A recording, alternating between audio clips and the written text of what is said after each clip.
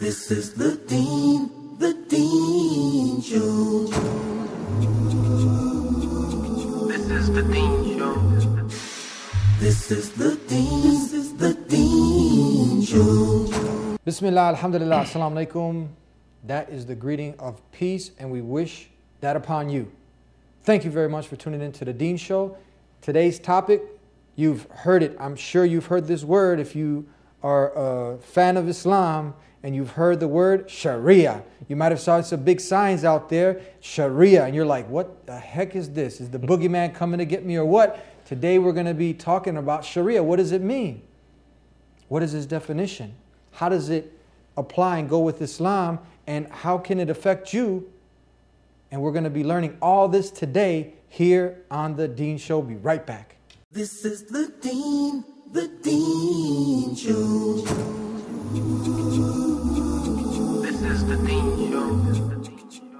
This is the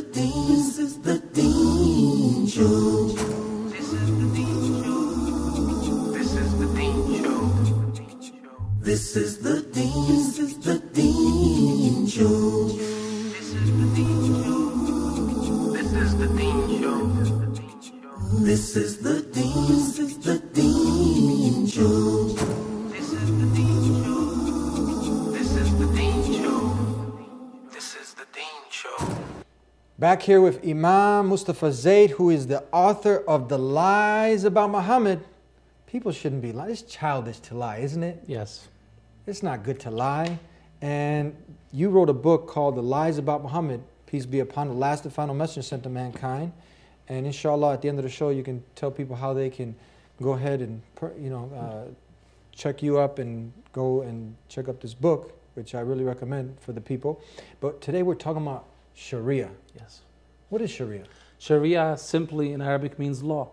Mm-hmm. And it's not the man made law, it's the law of Allah subhanahu wa ta'ala. And here is the significance of that.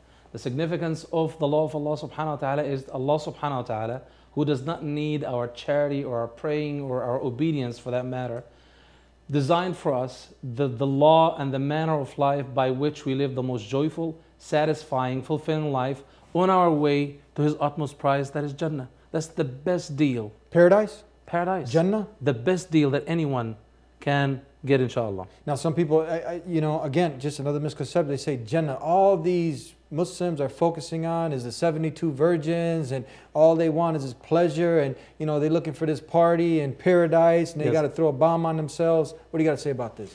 Well, a bomb on yourself is totally against Islamic law. Suicide bombing is totally forbidden in Islamic law, uh-huh. no matter what the justification is. The number one most punished crime in Islamic law is indiscriminate killing of innocent people. Forbidden. No, forbidden. No, there's no more punished crime in Islam than indiscriminate killing of innocent people. Yet, when you think about it, and it's true that there's going to be 72 versions and all these, in paradise, the definition of paradise that every pleasure that you can possibly imagine or not imagine is available. Of it is sex. Sex is not a bad thing.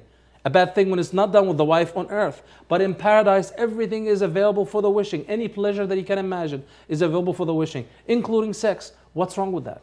What's wrong with that? I mean, people You're in paradise. People are lying, uh, stealing. They're they're they're power hungry, so they can enjoy the pleasures of this life, isn't yes. it? Yes. You know. And then when you obey God and you never show harm or hurt to anyone, and God want to give you His reward according to His ultimate generosity, it's everything for the wishing. Anything Anything, that you heard or not heard. but we want to do it the wholesome way. Yes. Now, isn't it that we as Muslims, those who have submitted to God, isn't the one, number one thing on our mind when we get to paradise is to, to have the pleasure of our Lord and to see our Lord? Beyond Actu- all the, the Actually, the two biggest pleasures of a believer of God, and when we say believers of God as Muslims, we also talking about the believers of Jesus, peace be upon him, the believers of Moses, peace be upon him. These are all Muslims and followers of the prophets of Islam. The two top pleasures of paradise, the number one is that you're going to be able to see the face of your creator of Allah subhanahu wa ta'ala that no one was able to see before, even the prophets of God, and you're going to hear the Quran recited with his voice. amazing. The second thing is that on top of that, with all the pleasures that you're going to have in paradise, that Allah subhanahu wa ta'ala would ask you a question, are you satisfied? And you're going to say, how could, I, how could I not be satisfied with all the blessings from Allah subhanahu wa ta'ala? But Allah subhanahu wa ta'ala would answer, well, now let me give you more satisfaction. I will bestow my own satisfaction upon you forever. I'll never be mad or angry at you. And that is the second best pleasure in paradise. So we should strive for paradise. This life is short, and that's what we want. And that's what you mentioned. And we're talking about Sharia. Now, continue on because is this the boogeyman coming to get you? Because they'll hold up the signs. People get frightened and say, oh, if Sharia law comes, now you're going to be subjugated. All your rights going to be taken away. What is Sharia coming Very to do? Very good question. Look at any law, even man made laws. They're going to be a law that rewards good doers and a law that has a penal co- code that when you murder someone, you're going to be executed. In any law, there's two ends of the spectrum, even man made laws. Sharia, the law in Islam, has a totally different purpose. Nothing would explain Sharia in Islam more than or better than the verse 157 in Surah Al-A'raf. ويحل لهم الطيبات ويحرم عليهم الخبائث ويضع عنهم إصرهم والأغلال التي كانت عليهم. Whatever that is good for you, short term, long term, whether you're aware of it or not, good for you or good for your society, that God knows it's ultimately good for you, that is what is halal, that is what's allowed for you. And whatever that is harmful, hurtful for you, whether you're aware of it or not, for your society or community, short term or long term, because Allah subhanahu wa ta'ala, God knows that is bad for you, it is forbidden. And through that, you're liberated. And it's the true wisdom of Allah, the creator of heavens and earth, that tells you that this is good or bad. This is ultimately good and it's ultimately bad. You follow that. You had that one thing that everyone seeks in the morning, from the President of the United States to the poorest man. What is the right thing to do?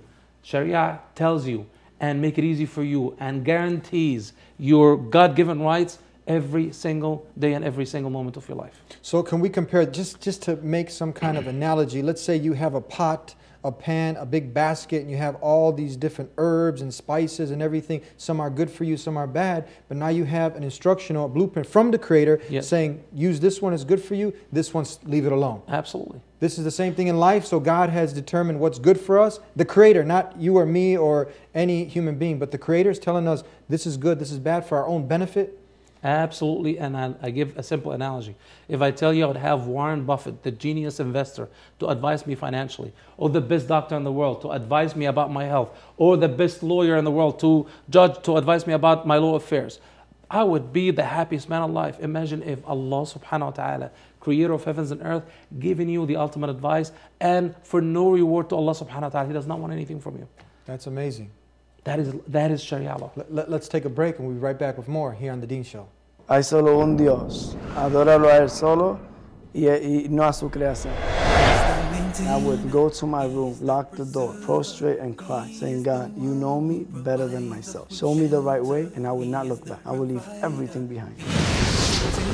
Allah is our creator and He creates everything and He gives intelligence to people.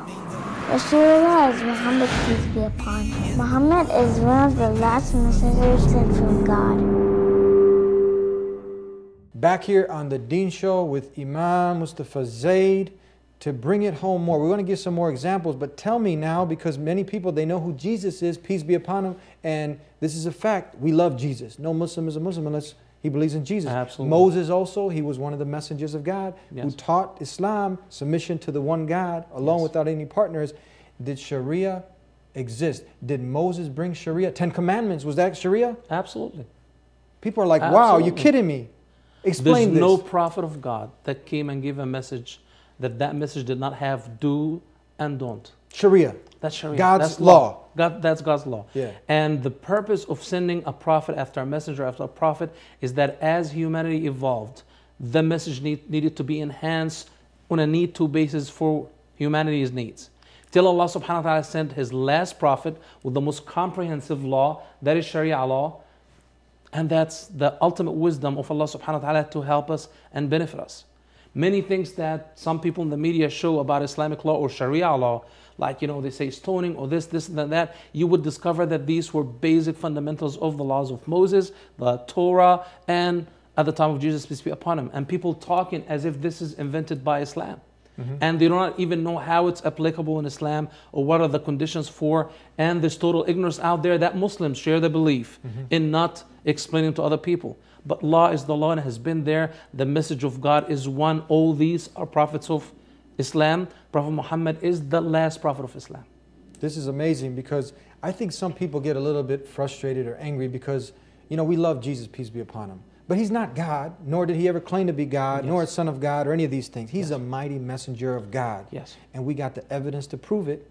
And some people might get a little upset because they have this attachment to Jesus, but we're not trying to offend nobody. We're just trying to relay the truth. And let's dialogue, let's talk about it. So, didn't Jesus, what we allegedly have attributed to him, he said, I have not come but to fulfill the law. I didn't come to break one of the least of the commandment, the least of the Sharia. I came, I was sent to bring back the lost sheep to the house of Israel. The message of Jesus, peace be upon him, was to bring pe- people back to the Ten Commandments after the modifications and the deviation that some people did. Sharia. Sharia, yes. Ten Commandments are 10 items, 10 paragraphs, articles of law. That's what it is. I think we need to just, you know, like we're doing here, and we're devoted to uh, helping people understand because they hear these Arabic words and they get a little bit bent out of shape because they never heard the word. But when you define, it, you say Ten Commandments, Jesus implementing Sharia, you like start to, you know, calm down a little bit because you Actually, one, one bit. of the things, and, and actually we need to clarify that for our viewers at some point, stoning. Uh, the bashers of Islam or haters of Islam would bring stoning and say that's barbaric, this, this, this, and that. Go to Leviticus 20:10 in the Old Testament, stoning. Go to Deuteronomy 22:22, 22, stoning. The famous story in the Bible of John about whoever was without a, uh, a sin should cast the first stone. What is casting stones? Is stoning. Islam did not invent that, and actually, when you see the mandates and the conditions that Islam applies for that crime, it's impossible to prosecute or convict one, you know, convict anyone according to stoning. The first thousand years of Islam, there were only three cases of stoning, and there were adamant confessions. They were not even caught. And scholars tried every way possible to make these people leave their confessions and escape the punishment, but they were adamant confessions. I made a sin, I want to be punished according to the law of God. Mm-hmm. In a thousand years, a millennia, no one was caught with the law of stoning in Sharia law that people, you know, are being scared about. examples. Give us some more examples so this can really hit home because when you implement what God wants you to do, not man or a monkey or anything in create, but the creator. If we come to a, a firm conviction that the creator revealed this, it's from him, it's an instruction manual from him, shouldn't he be the one who knows best? He's the most wise. So give us some more some more practical examples of Sharia and how beneficial it is if implemented. Well, I go back to the, the, the main point. You have Allah subhanahu wa ta'ala, creator of heavens and earth, advising you. That is giving you the ultimate wisdom without you being technologically savvy or advanced or have the best advisors in the world. Example 1997, the American Secretary of Health was so happy and proud that America was the first country, Western country, civilized, developed country that bans feeding dead animal parts to live animals. Why? They discovered that that's what causes mad cow disease and all kind of myriad of animal problems that can be transferred to humans. And I left. Prophet Muhammad in his correct hadith said, quote unquote, do not feed dead animal parts to live animals. 1400 years ago, two Bedouins who did not know how to read or write. But when you obey the Sharia law, you will get the ultimate benefit that billions of dollars and 1400 years of advanced research and technology would give you. 1400 years ago in a desert with no schools and libraries. Uh, Muslims are banned, uh, men uh, are forbidden to wear gold. Women are allowed to wear gold. We do not know why. A lot of people say because of vanity. But well, my wife is standing next to me wearing all that gold. That's vanity too. I own that. She owns that. Yeah. You know, scientists, not Muslim, I want to add, discover that um, when you put gold to your skin, gold has this feature that has active particles that actually go through the muscles of the skin and get into your bloodstream. Gold as a toxin in your bloodstream is very harmful. It puts all your hormonal balance out of whack and it's very harmful for men. And some people would say, well, women have skin too. What's wrong? Women has the what Allah subhanahu wa ta'ala had afforded them that they have the monthly course that discharges all these toxins out of the body. Subhanallah. So Allah subhanahu wa ta'ala gives you that 1400 years ago. You obey, you get the wisdom that we just got two years ago. And so on and so forth. One of the most uh, uh, endorsed and, and asked to uh, uh, do prayer of the day is the Fajr prayer. Fajr prayer is like usually 5, 6 o'clock in the morning. And a lot of people would say, why would I wake and? And there's tremendous reward for it. Scientists would tell you that if you wake up at 5 o'clock in the morning, you're 65% less subject to having strokes. Why? You sleep for straight eight hours, your blood would go, uh, the viscosity would actually go much higher because the, the, the, the heart is, uh, you know, you're asleep, so it's not pumping that much blood. And then, you know, clots and, you know, strokes are more, so, you know, uh, possible to happen than when you actually are walking or running or doing things like that. When you break your sleep and wake up to pray Fajr, you just bring your blood levels to the normal thing. So you pray and you go pray, sleep again for a couple more hours. You are 65% less likely to have a stroke or a clot than any other human being. What drug in the world can do that? You obey Allah subhanahu wa ta'ala, you get the benefit. Fasting, it actually triggers the longevity gene in your body. Uh, but there's a, a new uh, uh, product that's called Resveratrol. I think it's advertised all over the internet. That actually a 90 years old man would look like 60 years of age. The second thing that does that, that activates that longevity gene, is fasting. Continuous periods of hunger. Mandated. It's not for the benefit of Allah subhanahu wa ta'ala, it's for our own benefit. This is Sharia. Sharia. This is the law that God Almighty, out of His love, He loves Yes, us. He loves us more yes, than our mothers, our fathers. So He wants what's best for us. But can our perception sometimes of what we think might be good for us actually be bad for us, and what we think what is bad for us maybe is good for us? It's right there in the Quran. You might think that something is good for you, but it's actually bad for you, and vice versa. What is the ultimate good? What is the ultimate bad? It's in Sharia law. And I want to just bring emphasis to our viewers of the beautiful hadith of Prophet Muhammad in Sahih al Bukhari. He was standing with his companions, and there was a woman standing there hugging her baby with love and care, you know, breastfeeding the baby.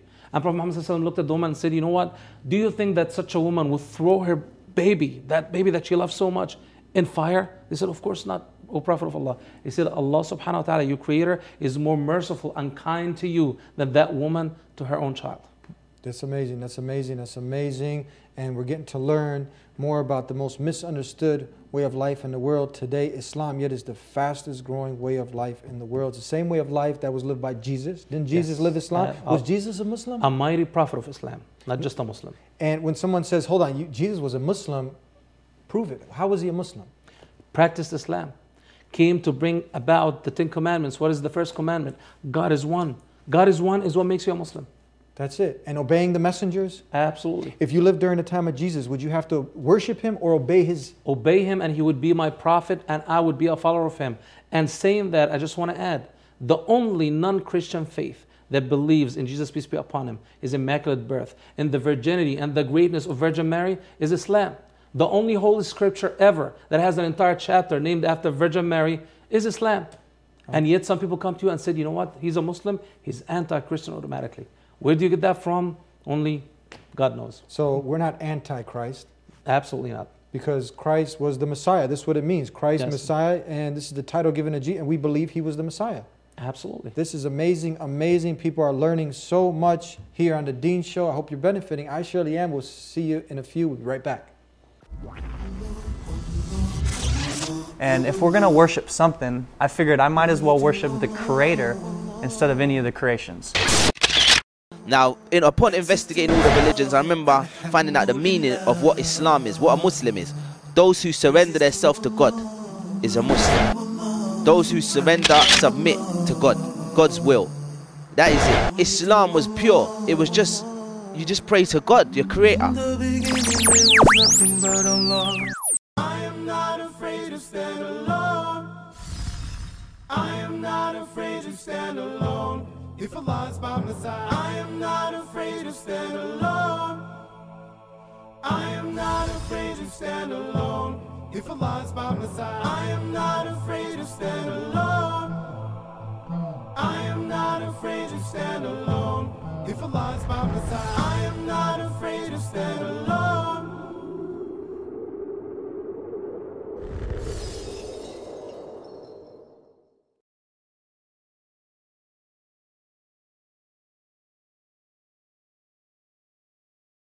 Back here on the Deen Show, and we're talking about the Creator's Law, Sharia. And you gave some wonderful examples and some things that I I'm just fascinated. I'm sure the viewers are the gold analogy, the prayer, the fasting, and when you do it and sometimes you don't know the wisdom behind it but now someone for the first time is seeing and hearing the wisdom you're just even more just impacted and your faith even rises because we don't just do blind faith. Our faith is based on knowledge Yes. proofs and evidences. Give us some more of these wonderful Um, actually, one of the clearest examples is that throughout history, uh, if you look at Islamic law and have any knowledge about it, as bigger the damage can be, the punishment is, and the warning and the prevention against is in Islamic law. Uh, people are baffled about, and at the end of uh, chapter 2, Surah Al Baqarah, that how Allah subhanahu wa ta'ala put such a severe punishment and warning to people who deal with usury, which is forbidden in the Bible too Eating interest, dealing with interest, which people take for granted nowadays. then will be حَرْبٍ مِّنَ Allah, as if you are waging a war against Allah subhanahu wa ta'ala. Not just disobeying God or angering God, you're waging a war against Him. And people said, you know, this is a part of business or economy. Why? The punishment is so severe. Comes 2008. They spent so far close to $6 trillion to try to bring the world economy to normal, and they couldn't. 10 million jobs are lost in America alone. The country of Iceland went bankrupt, and the country of Greece went bankrupt. That if it wasn't for international aid, people put ATM cards in the machine and did not get cash out. And the devastation of businesses and lives and marriages and so on and so forth. And when you tell them what happened, they would tell you excessive leverage. What is excessive leverage? Excessive riba that God had warned about 1400 years ago. interest yes, god warned us about it absolutely. even in the bible as if you are waging a war. Why it's a war against God? Because the damage can be as severe. Imagine how much effort you need to do to create 10 trillion dollars worth of economic activity.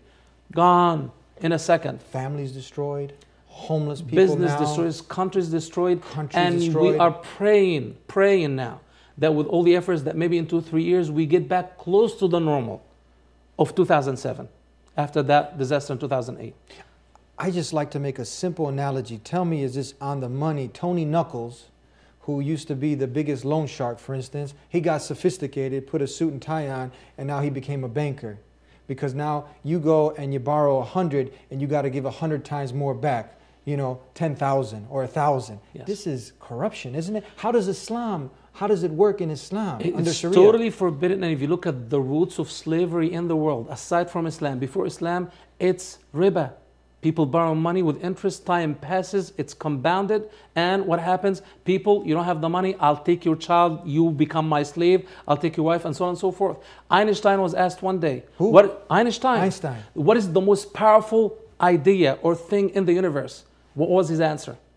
The, the one who discovered the relativity theory and the atomic bomb. He said compound interest. wow. Think about it. It's true. This is amazing, amazing, amazing. So now God is saying one thing and we want to do another thing, but isn't it now bad for it seems like it's bad for business now for you know the few elite that are making the money off these things sharia's coming god's law And make it a level playing field for all people. Entrepreneurship, risk taking, you know, hard work is what creates value. Money is not does not have intrinsic value. It does not create value. You have to couple that with your hard work and risk taking and produce economic activity where people will benefit around you with the jobs that you create and the materials that you buy, not just you deposit money in the bank and sit around and because you're rich, you make more money and more people will get poorer and work harder just to be at the same level. so islam gives now like the alternative you don't do it this way where the rich keep getting richer and you keep suppressing the poor it gives an even playing field you said for everybody And, and in a nice way, not in a communist way where like richness and being rich is bad. To the contrary, Prophet Muhammad said a, a Muslim that is strong financially, physically, socially is a better Muslim and more liked by God than a weak Muslim. But be rich in a fair way. That's the, that's the point. That's Islamic law. Be rich in a fair way. be rich in a fair way. And does it show through history when the Muslim, when those who submitted to all the laws of the Creator, they submitted their will to God's will, they implemented the beautiful injunctions that God told them to implement. Didn't this eradicate injustice, poverty, all these evil vices? Listen to this miraculous example. The highest living standard in, recorded in human history was the living standard at the time of Khalifa Umar ibn Abdul Aziz. He's the grandson of Umar ibn Khattab, and people consider him the fifth guided Khalifa. I'll tell you the level of freshness that they became at. And the Muslim treasury was flowing with money. They went around and said, if you have debts, we'll pay it for you. Regardless where you did you do with the money or how did you borrow the money. People did not come forward. If you want to get married, we'll pay for all your marriage expenses. People did not come forward. They had the money. This is Islam when it's Islam, implemented. yes, yes. Anyone who won money for any purpose, people did not come forward. They had so much money, they had to buy seeds and throw it in the desert so the living souls of bears would benefit from it other than keep it as money. There were literally no people in jail. Find me one country today, like at the time of Umar Abdul Aziz, that if you crippled or handicapped by any chance, that the government would assign a fully paid salaried employee from sunrise to sunset to take care of all your needs and you don't have to pay a penny. Happened at Umar Abdul Aziz is not happening today. How much time that he, you know, accomplished that? Two years of applying Islam correctly. Real quick, real quick. We only have two more minutes. We're out of time. Tell us now, because uh, the argument, and we just want to be fair. Someone says, "Well, look, how come all the Muslims are backwards nowadays? What are you talking about? And the Muslims are the most corrupt. This, this, and that. What do you got to say?" Ask me if Islam is applied correctly or not. Don't ask me if Muslims are ruled correctly or not. You got good That's the trick. You got good and bad, ugly all over the place. Yes. So this is an ugly example of when you don't implement Islam. The example you gave, this is an historical fact when Islam was implemented by the verbatim word of God, the Quran, and the Sunnah, the way of the last and final messenger, Prophet Muhammad. Uh, it it was the highest living standard that humanity had ever seen. Okay, this is not some per- perfect utopia we just conjured up in our head. This it is already known happened for years, It happened. documented. You can and check this up. Absolutely. Oh, this is amazing. Thank you. Uh, the lies about Muhammad, peace. be- This is childish. People are, you know, they, they can't beat the truth through through uh, correct dialogue and debate, so they got to lie. So you have written a book to counter all the lies about the last and final messenger, Prophet Muhammad, peace be upon him. Where can they get 155 of them. Where can I get this book? Amazon.com and BarnesandNoble.com. And there's a website for the book itself. Inshallah, the lies about Muhammad.com. The lies about Muhammad.com. Thank you. Jazakallah We look forward to having you again back here on the Deen Show. May Allah reward you in abundance. Thank you very much. Jazakallah. Amazing, amazing when you come with a sincere heart, open mind, and you come to the Muslims to learn about Islam. What do you learn? You learn the truth. You don't want to go to, to, to, to Hitler to learn about Christianity, do you?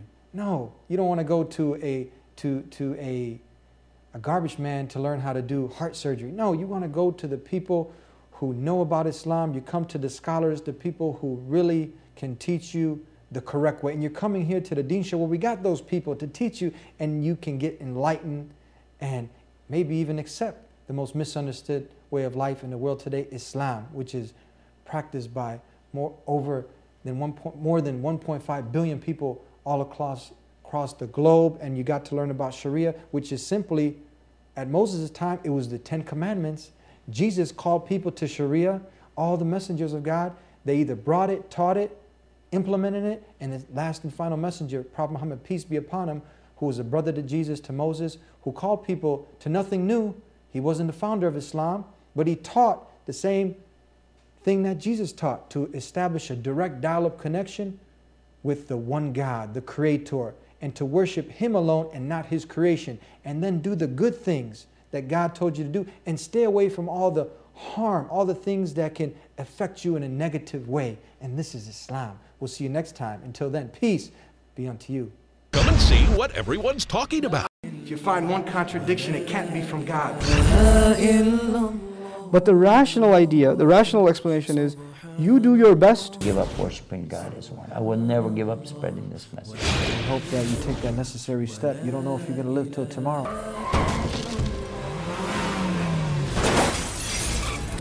So you got to find that urgency to do the right thing right now.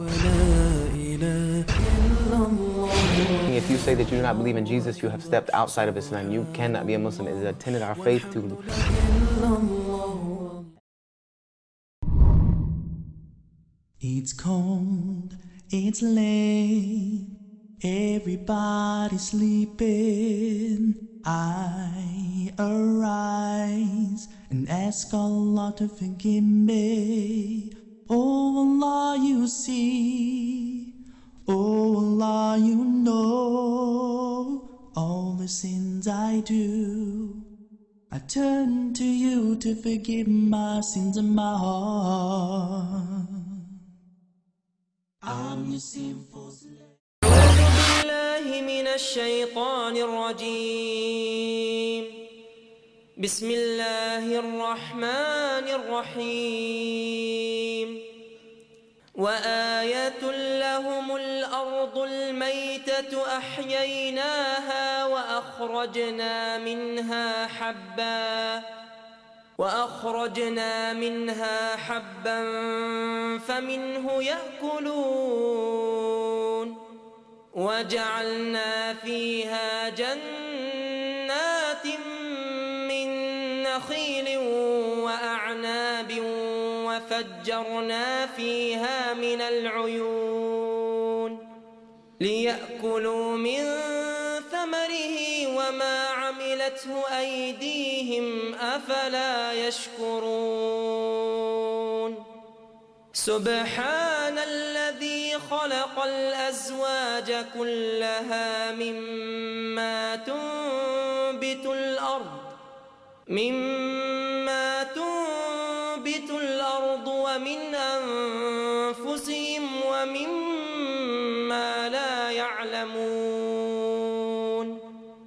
وآية لهم الليل نسلخ منه النهار فإذا هم مظلمون.